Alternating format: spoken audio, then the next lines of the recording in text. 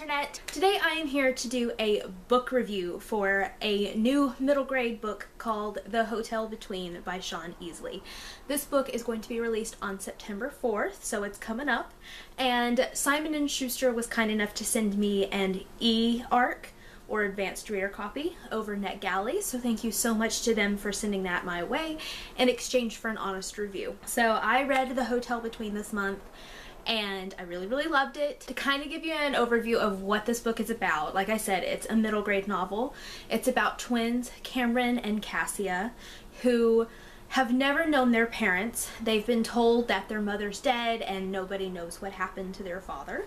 And so they have been raised by their grandmother. It takes place from Cameron's point of view and his sister Cass is convinced that their father abandoned them, but Cam doesn't think that's what happened. He thinks there's more to the story. And Cam wants to find out what really happened to their father, especially since his sister Cass uh, has spina bifida and that is difficult on the family all around. Cam ends up stumbling upon a place called the Hotel Between, which is basically a magical hotel that has a lot of different doors to different places in the world and you can almost go anywhere that you want to go in the world. And he finds out that his father is connected to this hotel in some way and so he starts on a journey to find out what happened to his father and to learn more about this mysterious hotel. I absolutely loved this book. It was so much fun. Every Everything I'm going to say in this review is spoiler free, so you don't have to worry about reading the book before you watch this. But I really, really enjoyed it. I ended up giving it four out of five stars. So the plot of this book, it really kept me on my toes. Um, it's unlike anything I've ever read before.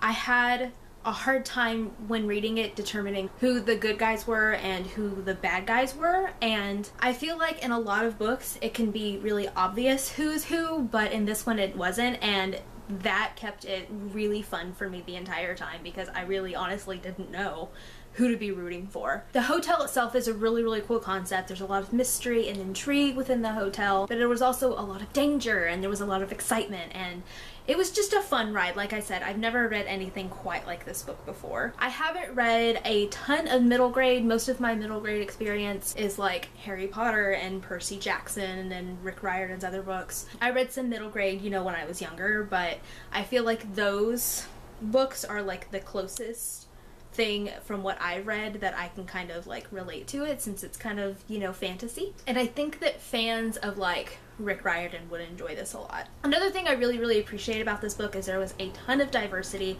I feel like almost every character, whether they were in the book a lot or they were just a side character only there for like a couple of scenes or whatever, so many of them were from all kinds of different races. And that was really, really uplifting to see such a diverse cast of characters. And like I mentioned also, uh, Cass, Cam's sister, has spina bifida, and she was a really awesome character. I really loved her character. I do want to eventually read some Own Voices reviews of this book though. I haven't been able to find any yet. So if you know of any, leave them in the comments so I can read it. I thought the author did a good job, but you know, I don't have spina bifida, so I can't accurately say, you know, whether the representation was good, but I thoroughly enjoyed his take on everything and I really appreciated the fact that he obviously made a point to keep it very diverse. The only thing that I will kind of say that kind of hindered on my enjoyment at times was there are these things um, that in the story um, called pins and plugs and different things that make the hotel work. I don't want to get into the details on that because I don't feel like I ever got like a clear understanding in my head on exactly how those things work and how the magic makes those things work. I got it to an extent and I got it enough to enjoy the story and understand what was going on, but there were times when I kept thinking, wait a second, how does this work again? And that did hinder my enjoyment a little bit, not a ton, because um, it was just a small thing, but I don't know if that was just me not getting it or if that was the way it was worded in the book, or I'm not really sure what happened there, but that is something that I struggled with. And I also would have really liked to have seen Cass's character more present in the book. I mean, she was definitely present for quite a bit of it, and Cameron thinks about her a lot and talks about her a lot and I thought that was great but I wish that she had been a little more involved like there in the plot.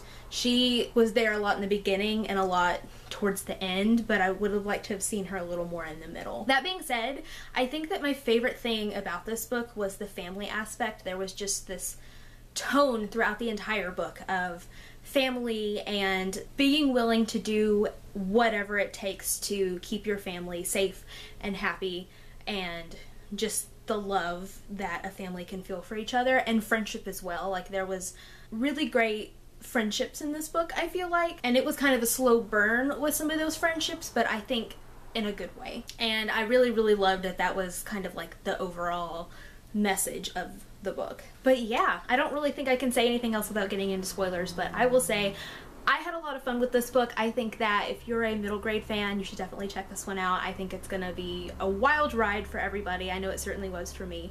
And like I said, I gave it 4 out of 5 stars and I highly enjoyed it. I will definitely be reading the next one when it comes out next year whenever that is. Make sure you check out The Hotel Between. It comes out on September 4th. And again, thank you so much to Simon & Schuster for sending me an e-arc of this book so I could read it. That will be it for this video, and I will see you guys next time with another video.